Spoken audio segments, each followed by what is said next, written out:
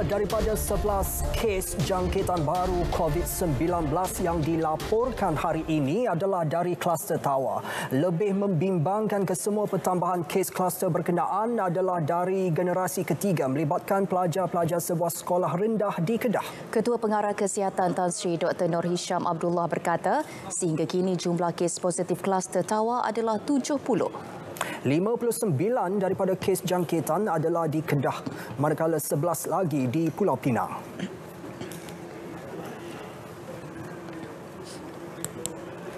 Kelima-lima kes baru di ini melibatkan pelajar-pelajar sebuah sekolah rendah di negeri Kedah.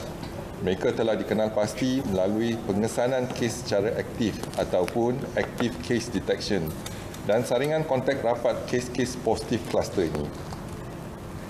Hasil siasatan mendapati mereka adalah kontak rapat kepada kes 9,197 yang merupakan seorang pelajar prasekolah. Kes ini telah dilaporkan pada 16 Ogos 2020. Menurut beliau, setakat 12 tengah hari tadi, seramai 3,547 orang telah disaring dalam kluster ini. Tan Sri Dr. Noh Hisham juga memaklumkan Kementerian Kesihatan mengesyaki kluster tawa di Kedah dan Pulau Pinang melibatkan strain mutasi D614G. Namun pengesahan hanya boleh disahkan selepas ujian makmal. Jangkitannya adalah tinggi iaitu sekarang ini masih kita telah mengambil uh, ujian ataupun swab ataupun virus tersebut di makmal. Makmal akan cuba asingkan virus tersebut sebelum kita boleh kuturkan dan bacakan genomik tersebut. Jadi uh, siasatan sedang, sedang dijalankan. Uh, tetapi sekarang ini kita tak pasti. Walaupun kita boleh syak ada perubahan daripada mutasi tetapi kita tak dapat sahkan lagi Sebelum ke perkembangan seterusnya, kita ikuti dahulu status terkini COVID-19 dalam negara. Ya, diikuti data kes positif harian mengikut negeri-negeri.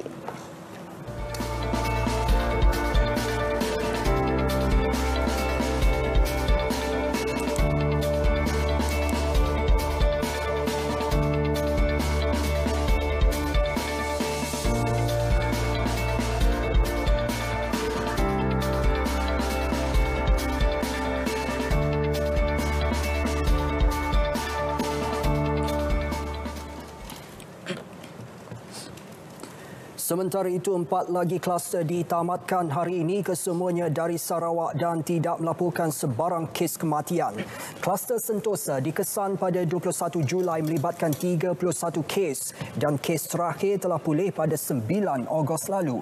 Kluster Pasar Satok pula telah dikesan pada 28 Julai melibatkan 4 kes dan seramai 936 peniaga dan kontak rapat telah dikenal pasti.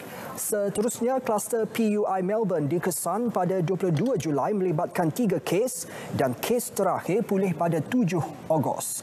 Manakala kluster syarikat kejuruteraan kucing dikesan pada 18 Julai melibatkan 8 kes positif dan kes terakhir pada 28 Julai dan telah discharge dari hospital pada 8 Ogos lalu.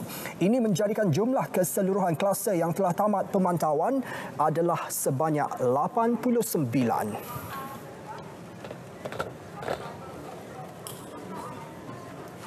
Dalam perkembangan berkaitan Tan Sri Dr. Noh Hisham berkata pematuhan kepada undang-undang dan prosedur operasi standard SOP yang telah dikeluarkan oleh kerajaan amatlah penting. Ini bagi memastikan tiada penularan jangkitan COVID-19. Ya, menurut beliau berikutan situasi di beberapa negara luar yang kini menghadapi ancaman gelombang baru dibimbangi perkara yang sama berlaku di negara ini sekiranya masyarakat terus memandang remeh situasi jangkitan pandemik berkenaan. Berikutan itu antara langkah yang dicadangkan Tan Sri Dr. Nur Hisham Abdullah dalam kenyataannya meminta kawalan sempadan yang perlu terus dipertingkatkan dengan kerjasama pelbagai agensi bagi mengekang aliran kemasukan individu yang berpotensi dijangkiti COVID-19 ke dalam negara.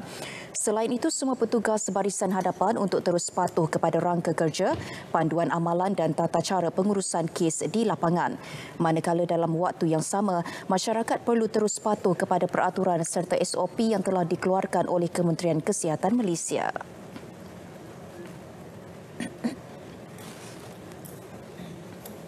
Akta Pencegahan dan Pengawalan Penyakit Berjangkit 1988 iaitu Akta 342 adalah amat penting untuk diguna pakai bagi memutuskan penurunan jangkitan COVID-19. Ketidakpatuhan terhadap akta ini akan meningkatkan risiko keboleh jangkitan dan penularan penyakit. Hanya dengan kepatuhan 100% terhadap akta ini, kita dapat bersatu dalam peperangan terhadap musuh kita yang sama iaitu COVID-19.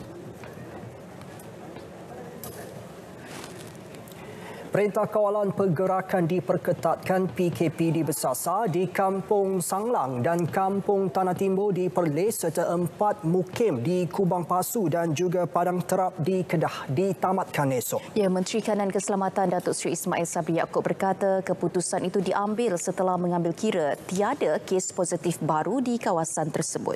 Ya, jelasnya kesemua penduduk di kawasan yang terlibat telah menjalani ujian saringan COVID-19. 3 Ogos lalu kerajaan mengumumkan mengumumkan PKP di Besasa di kawasan berkenaan ekoran penularan COVID-19 yang berpunca daripada kluster PUI Sivagangga. Beliau turut memaklumkan PKP di Besasa membabitkan beberapa daerah di Kedah yang berkaitan kluster tawa tidak perlu diadakan. Kluster tawa ini adalah kluster yang uh, timbul berikutan dengan perhimpunan agama uh, Hindu dan apabila mereka pulang sebahagiannya ada yang membawa uh, positif COVID dan ianya merebak sehingga ke sekolah yang di mana gurunya merupakan salah seorang yang terlibat dalam program keugaman tersebut bila balik ke ke sekolah menjangkiti murid. Jadi mesyuarat hari ini atas nasihat KKM memutuskan bahawa Temco masih lagi tidak perlu dikenakan di empat daerah tersebut. Walau bagaimanapun kawalan secara bersasar kita laksanakan.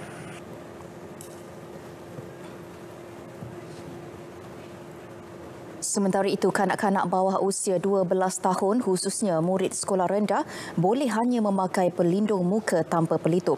Datuk Seri Ismail Sabri berkata kerajaan bagaimanapun menggalakkan pemakaian pelitup muka.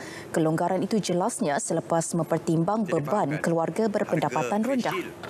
Harga face shield adalah lebih kurang uh, RM3 hingga RM5 saja dan mereka boleh menggunakan sampai berbulan-bulan hanya per, Kementerian Kesihatan perlu keluarkan dari segi garis panduan bagaimana nak mencuci dengan sabun ke dengan apa-apa pun. Jadi yang itu boleh dipakai sepanjang masa walaupun satu shield pun sudah cukup untuk berbulan-bulan.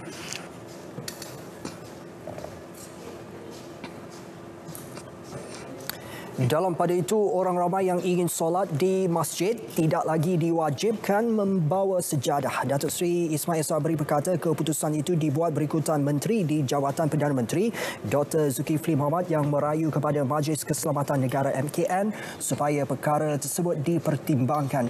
Ini kerana perkara tersebut mendatangkan kesulitan kepada orang ramai yang tidak membawa sejadah terpaksa berpatah balik untuk mengambilnya dan kembali ke masjid untuk solat berjemaah jemaah. Dan seluruh mesyuarat kita bersetuju bahawa membawa sejadah tidak lagi dijadikan sebagai satu perkara yang wajib yang mana kalau tidak ada sejadah tidak boleh dibenarkan masuk untuk bersemayang.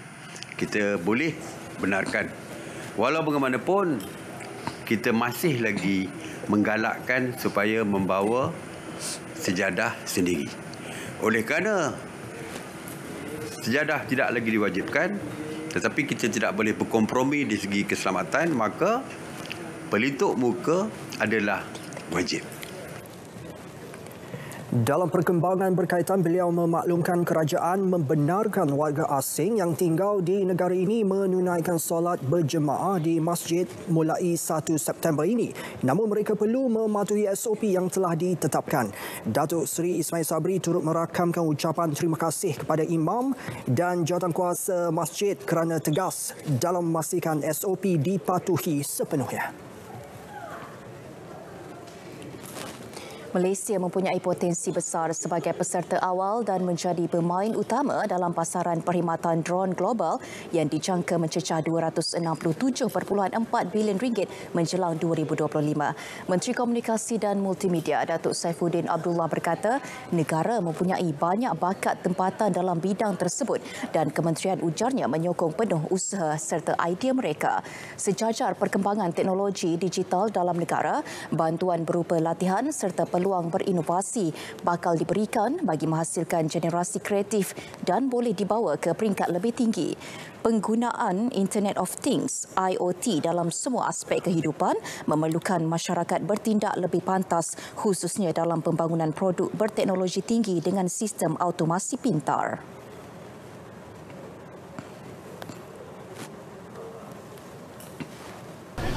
kita ingin menggalakkan uh, perkembangan teknologi yang terkini di kalangan uh, bakat-bakat anak Malaysia. Ada pelbagai cara untuk perkembangan ini. Satu ialah dengan uh, kita belajar daripada kemajuan orang lain tetapi yang keduanya ialah bukan sekadar belajar tetapi melakukan inovasi dan membuat adaptasi dengan pengetahuan tempatan bagi menyelesaikan uh, masalah tempatan dan keperluan tempatan. Perkara ini dinyatakan beliau selepas majlis pelancaran dan demonstrasi penerbangan drone pertama di Malaysia dengan penerapan teknologi GPS.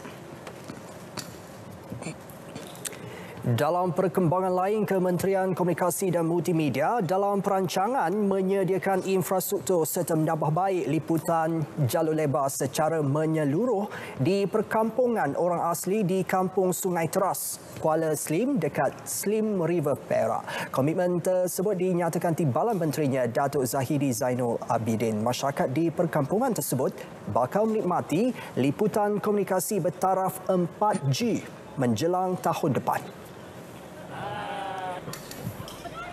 Cuma hari ini kita meninjau tentang apa liputan apa jalur lebar di sini. Lepas tu kekuatannya kurang sikit jadi maknanya sebab apa di kawasan Slim ni kita kita bercadang sudah ada 25 tower. 25 tower dan 25 tower ni kita akan upgrade kepada 4G. Kita tengah usahakan dan kita pun sedang bina 2 tower tambahan dan perancangannya 5 tower akan dibincang kemudian. Sejumlah 96.25% pengundi awal termasuk anggota polis telah menunaikan hak mereka sehingga proses pengundian awal itu berakhir 5.30 petang tadi. Menurut Suruhanjaya Pilihan Raya SPR, proses pengundian awal yang bermula pada 8 pagi tadi disaksikan oleh ejen calon serta pemerhati pilihan raya yang dilantik SPR. Seramai 267 pengundi terdiri daripada pegawai dan anggota menunaikan tanggungjawab mereka di Ibu Pejabat Polis Daerah Muar Alim. Perjalanan proses pengundian juga berlangsung dalam keadaan aman dan tenang termasuk pelaksanaan SOP ketat mengekang penularan COVID-19. Terdahulu dalam sidang medianya, Ketua Polis Daerah Mualim, Superintendent Sulizmi Afendi Sulaiman memaklumkan seorang pegawai bahagian integriti dan pematuhan standard BIPS IPD Mualim dilantik untuk memantau kehadiran pegawai dan anggota serta perjalanan proses pengundian. Sebaik pusat pengundian ditutup, peti-peti undi akan disimpan di lokap IPD Mualim dan pengiraannya akan dibuat pada hari pengundian 29 Ogos ini.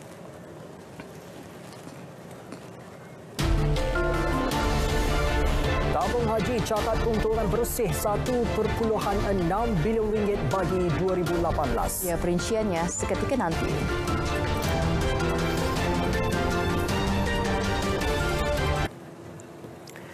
Setelah dua tahun lewat mengemukakan laporan tahunan dan penyata keuangan bagi tahun 2018, Lembaga Tabung Haji TH hari ini mengumumkan keuntungan bersih selepas zakat sebanyak 1.6 bilion ringgit. Penyusutan sebanyak 53% berbanding tahun sebelumnya itu berikutan perbelanjaan bukan operasi yang besar iaitu rosot nilai, hapus kira dan pelarasan nilai saksama. TH dalam satu kenyataan media jelaskan pelan pemulihan dan penstrukturan syarikat dilaksanakan kerajaan terdahulu antara sebab mengapa laporan itu mengambil masa dua tahun untuk dikemukakan. Pelan pemulihan dan penstrukturan itu merupakan perkara kompleks dan tidak pernah dijalankan sebelum ini. Proses tersebut turut mempengaruhi pengauditan oleh Jabatan Audit Negara yang menyebabkan CJ Audit bersih dikeluarkan pada 21 November 2019. Pada masa sama, agensi berkenaan perlu mendapat ulasan daripada agensi kerajaan berkaitan yang hanya diperoleh pada 19 Disember tahun lalu. Laporan itu hanya dapat dibentangkan di Parlimen setelah diluluskan oleh Musyarat Jemaah Menteri pada 14 Ogos lalu. Orang awam yang ingin mendapatkan maklumat lanjut berkaitan laporan tahunan dan penyata keuangan bagi tahun 2018 boleh layari laman sesawang rasmi TH. Perdana Menteri Tan Sri Muhyiddin Yassin mahu satu langkah proaktif dan pelan tindakan secara holistik disegerakan bagi membantu penduduk projek perumahan rakyat PPR dalam memastikan mereka lebih berdaya maju. Jelas beliau kerajaan sentiasa meletakkan agenda membantu rakyat sebagai keutamaan dan akan terus mencari pelbagai kaedah bagi membantu rakyat meningkatkan taraf hidup. Berkongsi di laman Facebook, Perdana Menteri meninjau dan melihat sendiri kehidupan penduduk di PPR Desa Rejang di setapak Kuala Lumpur pagi tadi. Beliau meluangkan masa menziarahi penghuni warga emas dan golongan OKU yang menetap di PPR berkenaan di bawah seliaan Jabatan Kebajikan Masyarakat. Pada lawatan itu juga, Tan Sri Muhyiddin singgah di Medan Selera untuk beramah mesra dengan penduduk bagi mendengar cerita dan luahan hati mereka. Kebanyakan mereka bekerja sebagai pemandu teksi dan lori serta ramai yang bekerja sendiri untuk meneruskan kehidupan. Beliau menyifatkan lawatan ini banyak memberi maklumat mengenai kehidupan warga kota atau golongan miskin bandar. Perdana Menteri juga percaya banyak perkara yang boleh dilakukan kerajaan dan NKC berkaitan dalam memastikan nasib golongan ini terbela dan tidak ketinggalan dalam arus pembangunan merangkumi aspek ekonomi, pendidikan dan sosial. Antaranya menambah baik pusat-pusat komuniti setempat dengan aktiviti menambah kemahiran, keusahawanan dan memperkasakan pendidikan anak-anak mereka untuk menjamin kesejahteraan pada masa depan.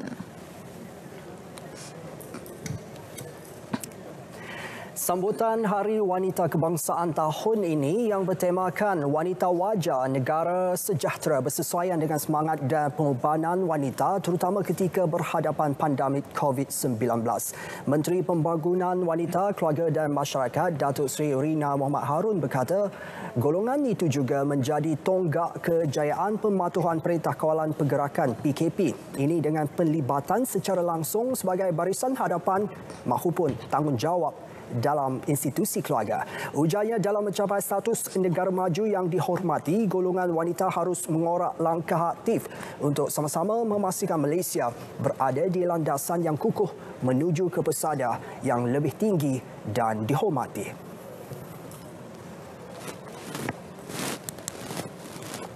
Kita telah menyaksikan perubahan yang signifikan daripada aspek pemekasaan, kesaksamaan dan kesejahteraan wanita.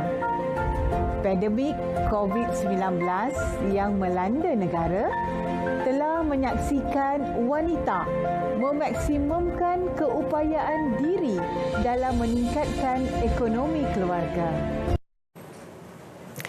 menyedari peranan wanita dalam pembangunan negara dari aspek ekonomi, pelbagai peluang dan pendekatan untuk memperkasa golongan itu harus dilaksanakan kita dah uh, almost uh, setaraf dan setanding. Uh, cuma kita perlu backup lagi lagi banyak peluang dapat diisi dengan lebih uh, banyak platform supaya wanita lagi ke depan.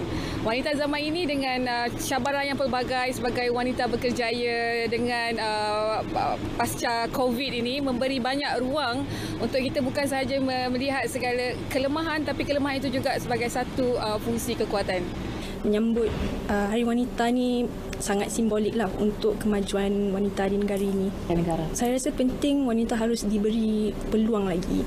Um, walaupun ada ada wanita yang masuk industri yang uh, didominasi oleh lelaki, tapi saya rasa wanita harus uh, diberi lebih peluang untuk menceburuhi uh, industri-industri yang yang didominasi oleh lelaki. Kalau dulu memang kita tengok ada jurang antara lelaki dan perempuan di mana kalau dulu lelaki yang lebih uh, mendominasikan uh, macam apa tu dari sektor-sektor yang uh, macam sektor engineering dan sebagainya tapi kini kita tengok wanita juga sekarang turut uh, sama-sama uh, dapat uh, sama-sama join dalam uh, uh, sektor-sektor yang macam tu untuk sama-sama mensejahterakan lagi dan membangun lagi ekonomi negara. Sambutan Hari Wanita Kebangsaan diraih bagi memberi inspirasi kepada golongan wanita selain meningkatkan kesedaran masyarakat mengenai keupayaan wanita dalam pembangunan keluarga, perpaduan dan pembangunan masyarakat serta negara.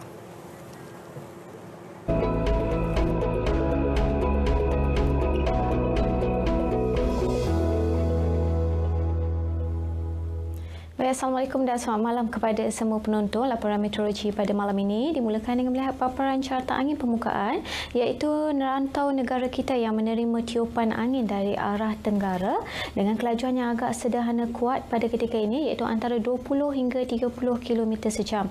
Walau bagaimanapun tiada sebarang amaran terperingkat bagi angin kencang dan laut bergelora di seluruh perairan negara dan keadaan uh, perairan adalah stabil untuk sebarang aktiviti. Negara kita kini menerima kelembapan kegelapan yang agak kurang di semenanjung Malaysia dalam tempoh 2 hingga 3 hari akan datang. Namun demikian, ribut petir masih lagi berlaku di satu dua tempat melibatkan negeri-negeri utara semenanjung Malaysia khususnya terutamanya di sekitar negeri Perlis, Pulau Pinang, pedalaman negeri Kedah dan juga di pedalaman negeri Perak. Manakala ribut petir yang sedang berlaku di sekitar negeri Johor dan juga negeri Melaka ini dijangka akan mula keluar ke perairan Selat Melaka Selatan dalam sedikit masa lagi sekitar 1 hingga 2 jam akan datang manakala lain-lain tempat adalah tiada hujan pada ketika ini. Seterusnya untuk negeri Sabah dan Sarawak pula keadaan cuaca adalah baik bagi seluruh negeri Sabah. Namun demikian di sekitar negeri Sarawak hanya ribut petir di bahagian Betung dan juga di bahagian Limbang ini dijangkakan akan berterusan untuk tempoh 1 hingga 2 jam akan datang. Sekian saja informasi cuaca untuk malam ini. Seterusnya kita lihat paparan ramalan hujan bagi bandar-bandar utama di seluruh Malaysia sepanjang pagi esok. Saya Farah Halim. Assalamualaikum.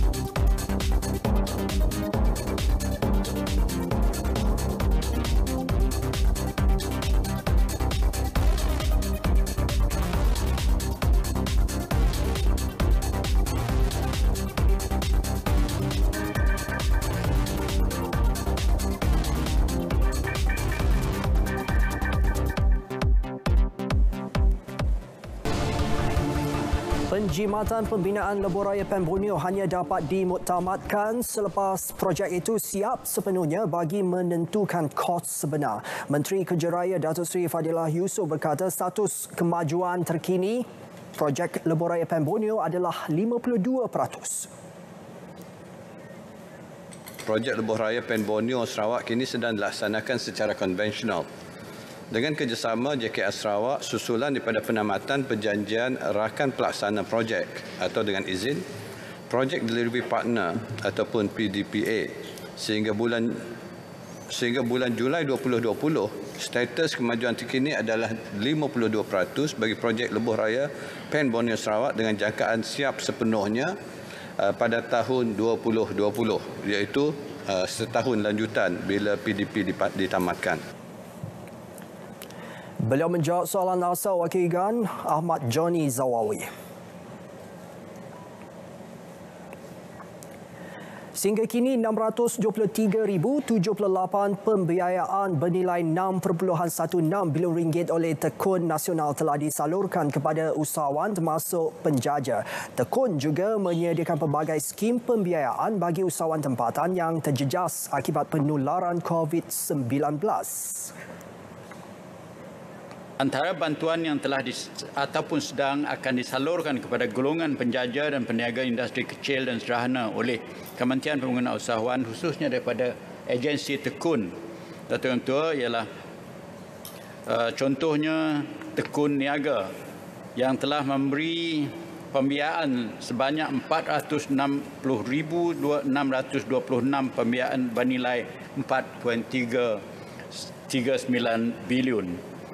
Uh, yang kedua, skim pembiayaan teman tekun. Pembiayaan secara berkumpul telah disalur pembiayaan 95,907 pembiayaan bernilai 668.4 juta 9,864 pembiayaan bernilai 537.1 juta ringgit telah disalurkan menerusi skim pembiayaan kontrak I manakala 2,135 pembiayaan bernilai 313.7 juta ringgit disalur menerusi skim pembangunan usahawan masyarakat India. Selain itu 26,123 usahawan dibantu menerusi skim pembiayaan pemulihan perniagaan mikro manakala skim pemulihan perniagaan tekun memanfaatkan 8,435 usahawan. Datuk Seri Dr. Wan Junaidi juga menjawab pertanyaan Wakil Kina Batangan Datuk Seri Bong Mokhtaradin. Perdana Menteri Tan Sri Muhyiddin Yassin merasmikan perpustakaan parlimen yang baharu di Blok Ahli Parlimen dan Pentadbiran yang siap dibina sepenuhnya pada Januari lalu. Sebelum ini ia terletak di blok utama Kompleks Parlimen. Uh, pusat ilmu itu mempunyai 43,114 koleksi dokumen asal seperti perundangan negeri Selat dan negeri-negeri Melayu bersekutu, penyata rasmi, Dewan Negara dan Dewan Rakyat, aturan urusan bersyarat rang undang-undang, ata-ata, kertas statut, enakmen, ordinan dan wata kerajaan. Selain itu terdapat juga koleksi monograf, koleksi jurnal dan koleksi keratan akhbar. Perpustakaan Parlimen adalah pusat sumber rujukan penting dalam urusan perundangan, Parlimen, pentadbiran kerajaan dan pentadbiran awam bagi menyokong keperluan penyelidikan ahli-ahli Parlimen dan warga Parlimen ke arah pembelajaran sepanjang hayat.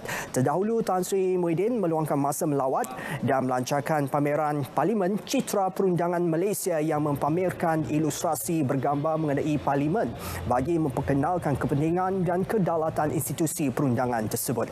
Pameran yang berlangsung mulai hari ini sehingga 18 September dibagikan kepada enam segmen iaitu menelusuri sejarah, citra perundangan, koleksi tinta emas, diplomasi dan hubungan luar negara, Tuan Yang Dipertua dan Ketua Majlis serta Menteri Parlimen. Baik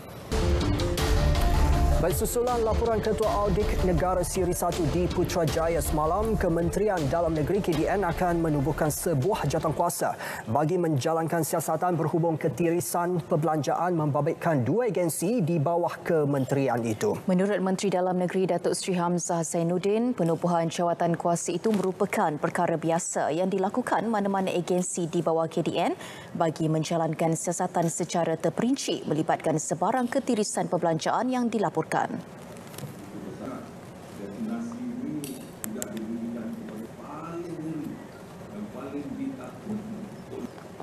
Semua segala apa audit report bukan hanya PDRM mana-mana agensi yang ada dalam KDN ini ada melakukan uh, apa ni ada kita menerima audit report uh, yang melanggar peraturan atau yang tersalah uh, laku ataupun macam mana sekalipun akan akan kita lakukan siasatan uh, KSU akan ambil tindakan dengan sewajarnya.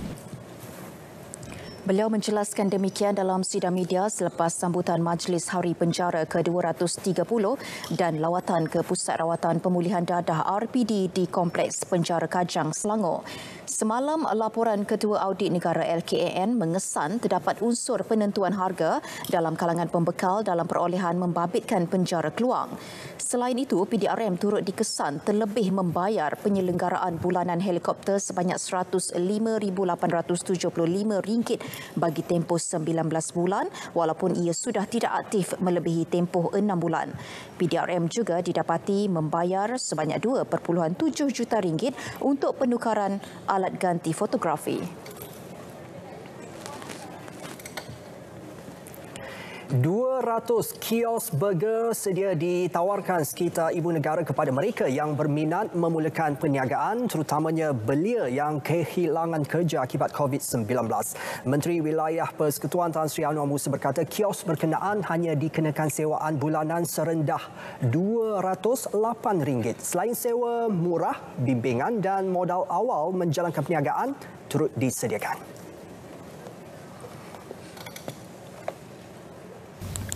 Kita package sekali. Bandaraya tunjukkan tempat di mana, Bandaraya bagi lesen, kita bagi stall, dia dah datang belajar buat burger sikit, buat.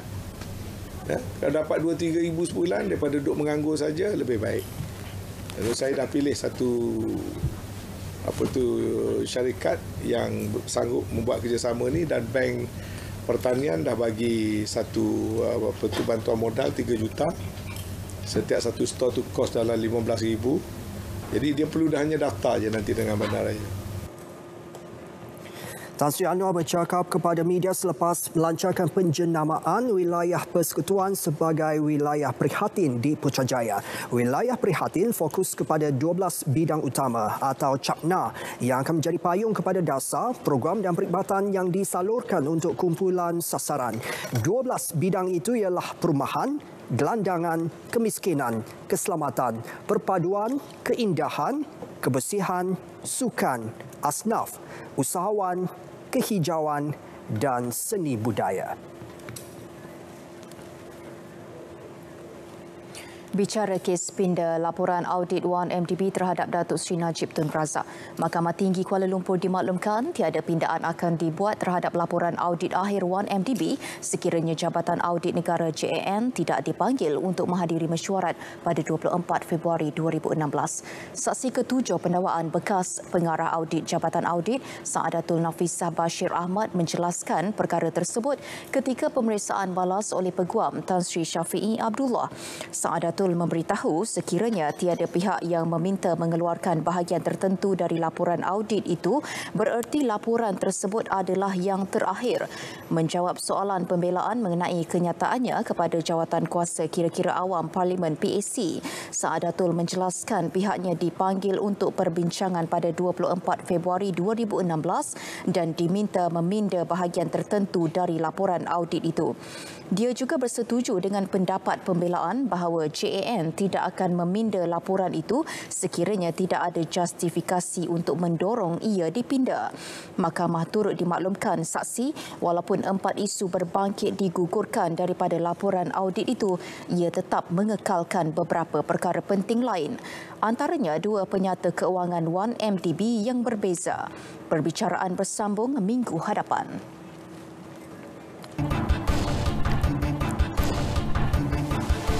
FGV Holdings berhad mencatat keuntungan bersih 20.55 juta ringgit pada suku kedua berakhir 30 Jun 2020 berbanding kerugian bersih 52.20 juta ringgit pada tempoh sama tahun lalu. Ketua Pegawai Eksekutifnya Datuk Haris Fazilah Hassan berkata perolehan pada suku kedua meningkat kepada 3.29 bilion ringgit daripada 3.28 bilion ringgit pada tahun lepas. Bagi tempoh enam bulan pertama tahun ini FGV merekodkan kerugian bersih berjumlah 121.8 juta ringgit manakala perolehan merosot kepada 6.08 bilion ringgit. Ini berikutan jumlah jualan minyak sawit mentah MSM merosot sebanyak 21.7% sejajar pengeluaran tandan buah segar yang rendah. Namun optimis prestasi lebih kukuh bagi separuh kedua tahun ini dipacu harga buah tandan segar dan pengeluaran minyak minyak sawit mentah yang kembali normal. with a focus on high quality and premium products with tremendous export potential. Datuk Haris Fazilah mengumumkan prestasi keuangan suku kedua 2020 FGV di Ibu Negara. Dalam pada itu, FGV merancang untuk mengurangkan kebergantungan pekerja asing sebanyak 10%. Ketika ini, 90% atau 32,000 pekerja syarikat itu merupakan tenaga pekerja asing. FGV telah mula melaksanakan langkah-langkah untuk meminimumkan kebergantungan pekerja asing sejak awal tahun ini.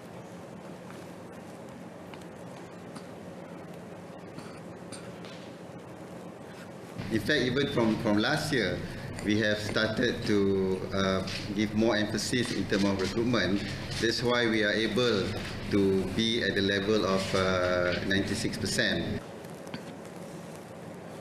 Pada masa sama, FGV berminat untuk menarik lebih banyak tenaga kerja tempatan. Pekerja tempatan ketika ini mewakili 5% daripada tenaga kerja FGV dalam segmen perladangan.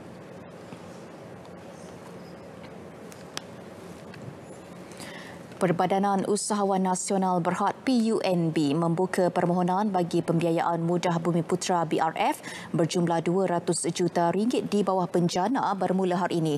Pengerusi PUNB Tan Sri Noor Omar berkata, inisiatif itu menawarkan pembiayaan antara 100 ribu hingga 1 juta ringgit bagi membantu syarikat Bumi Putra yang terjejas akibat COVID-19 untuk meneruskan operasi.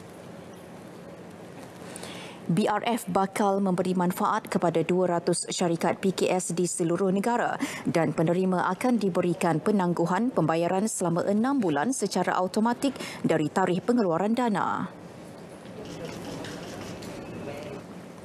Dan tempoh dia ah, first come first serve lah. Bila habis 200 juta dan kita itulah peruntukan yang kita ada.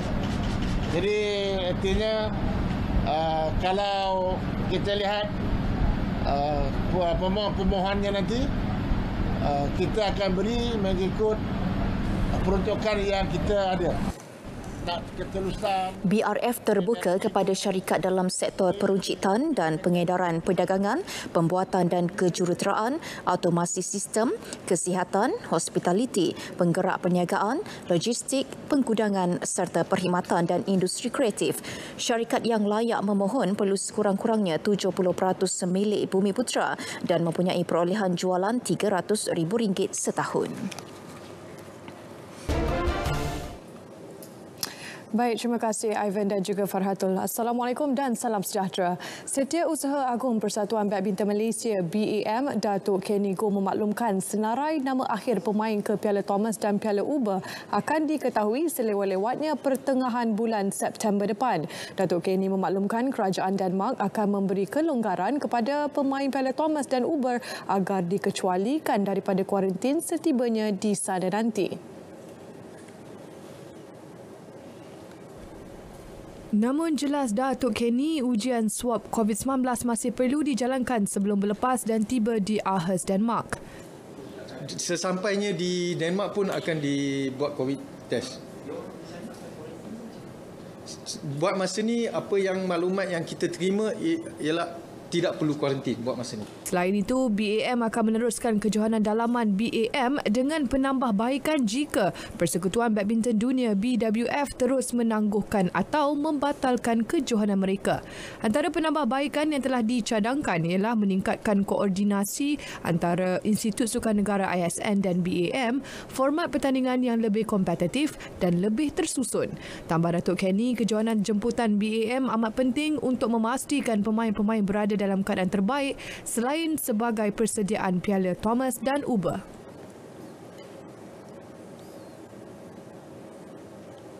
Menjelang Sukan Si Vietnam 2021, Menteri Komunikasi dan Multimedia Datuk Saifuddin Abdullah menggesa lebih banyak syarikat korporat tampil menyalurkan sumbangan kepada Persatuan Bola Keranjang Malaysia MABA bagi memastikan sukan itu terus diperkasakan di peringkat pembangunan dan kebangsaan.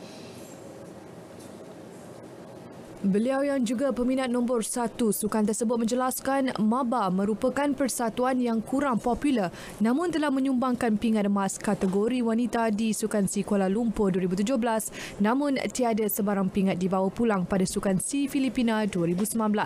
Justeru beliau menggesa lebih syarikat korporat tampil menyumbang dana kepada MABA bagi membolehkan mereka mempersiapkan pasukan untuk ke Sukan Si Vietnam 2021 dengan menganjurkan Piala Agong 2021. Kerana Liga ini mempunyai kesan secara langsung kepada pembinaan pasukan uh, negara yang kuat. Satu, kita mencukil bakat dan yang keduanya kita sentiasa menyediakan uh, competitive games untuk para pemain sama ada national team ataupun. Sukan yang diminati beliau sejak lewat tahun 80-an telah memperlihatkan perkembangan memberansangkan dan kini boleh dilihat dengan penyertaan banyak pasukan di kejohanan Piala Agong setiap tahun. Beliau berkata demikian kepada media selepas menyaksikan majlis penyerahan penajaan berjumlah 1.5 juta ringgit dari MJ Health di Ibu Negara. Persekutuan Kebangsaan Berbasikal Malaysia PKBM memaklumkan Fatihah Mustafa akan memulakan kerjaya selaku jurulatih skuad pembangunan berbasikal wanita bermula 1 September ini. Jelas naik presidennya Firdaus Arshad, Fatihah akan membantu jurulatih pelapis kebangsaan Sood Hussein mengendalikan pelumba pelapis khususnya pelumba track. Jelas Firdaus, kontrak dan pembayaran gaji Fatihah akan diuruskan oleh Majlis Sukan Negara MSN pengkhususan uh, Fatihah ni akan membantu Cikgu Suun untuk mencari uh, bakat-bakat baru khususnya wanita lah untuk kita buat uh, apa uh, satu program khas untuk wanita lah sekarang ni. Sini kita tak spesifik untuk tapi kita mau pada track lah sebenarnya. Selain itu, Firdaus turut memaklumkan PKBM akan menyambung semula program yang tertunda pada September depan dengan kejohanan kebangsaan Lebuh Raya di Melaka pada 19 dan 20 hari bulan, kejohanan kebangsaan track di Velodrome Nilai pada 16 sehingga 18 Oktober dan kejohanan kebangsaan BMX pada 7 dan 8 November. Azizul Hasni Awang dan Muhammad Shah Firdaus Sahrum yang berada di Melbourne, Australia dijangka pulang untuk menyertai kejohanan ini. Produk Akademi Kelab Bola Sepak Johor Darul Takzim Arif Aiman Muhammad Hanapi mengakui pengalamannya bersama skuad senior Harimau Selatan musim ini banyak membantunya ketika bersama dalam kem latihan pasukan kebangsaan bawah 19 tahun B19 kebangsaan. Menurut pemain berusia 18 tahun tersebut, kelebihannya itu digunakan untuk membantu rakan sepasukan mengurus tekanan ketika bermain sekaligus dapat melancarkan permainan dan memperbaiki keserasian antara pemain. Dikenali dengan larian pantas dalam padang, Arif Aiman yang turut pernah bermain menentang Felda United dalam saingan Liga Super pada Mac lalu bagaimanapun tidak mahu berada dalam keadaan selesa berdasarkan kelebihan yang ada. Sebab saya pernah tengok diorang game ketika diorang bermain Asia Champions League semua. Saya dapat saya dapat sikit pengalaman yang dekat situ. Saya dapat belajar, dapat pressure sejak saya main dekat JT2 sebab JT2 saya main first 11 saya mula first game saya banyak tercabar bila main kat situ. Dari situ saya dapat belajar dari JT2 sampai ke JT2 saya dapat belajar untuk terima press daripada tim dengan dekat sini lah.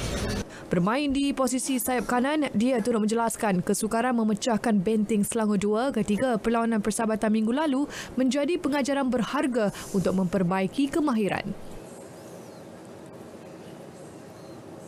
Kemenangan lima perlawanan siri persahabatan sebelum ini menjadi pembakar semangat bagi pasukan Selangor FC untuk memulakan kempen Liga Super 2020 dalam mencari kedudukan tiga teratas Liga sekaligus mengejar impian untuk slot ke Piala Konfederasi Bola Sepak Asia AFC musim depan.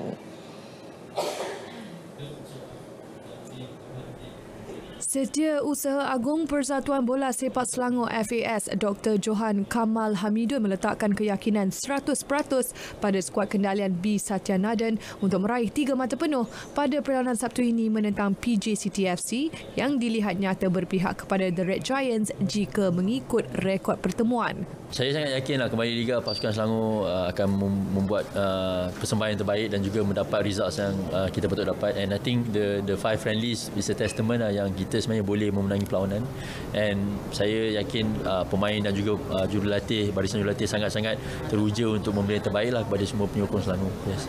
Beliau ditemui media selepas majlis menandatangani perjanjian bersama peneraju industri animasi negara Lesko Park Productions Senja Berhad sebagai penaja utama FAS Soccer School yang turut dihadiri Presiden FAS Raja Muda Selangor Tengku Amir Shah Ibni Sultan Sharafuddin Idris Shah Al-Haj.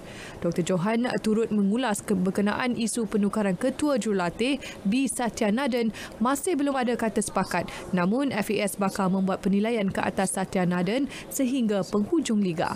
Um, everything is perbincangan. Uh, like I said, uh, kita akan kena lihat situasi lah.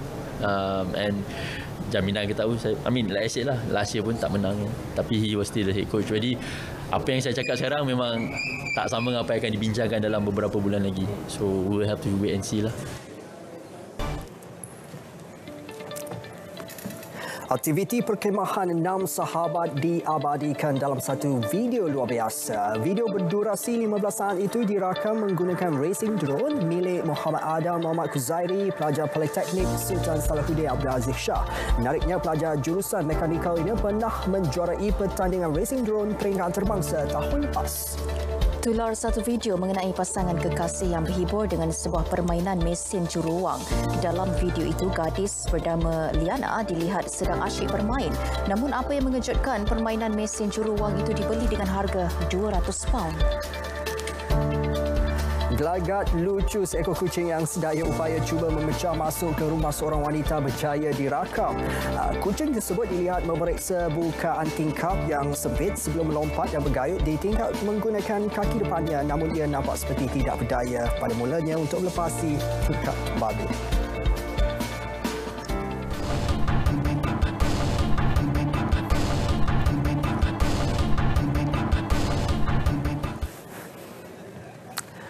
Penyanyi muda dari Sabah Daniel Chua membuat kemunculan semula dengan single terbaru berjudul Ingin yang juga single kedua selepas enam tahun. Ya, pada usia 19 tahun, Daniel kini mahu memberi tumpuan penuh kepada bidang nyanyian selepas tamat sekolah menengah.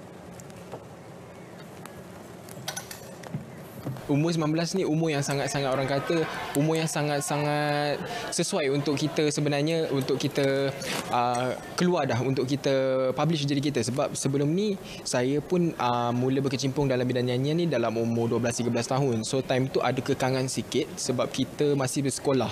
So bila dah umur 19 dan saya pun dah belajar dekat uh, Kuala Lumpur so saya rasa untuk saya grab the chance untuk saya uh, naikkan nama saya semula ada. Uh.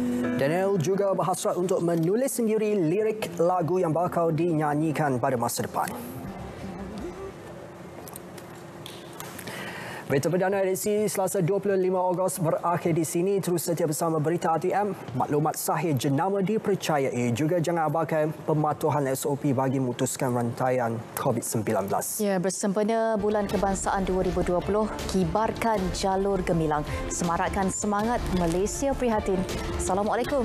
Salam sejahtera.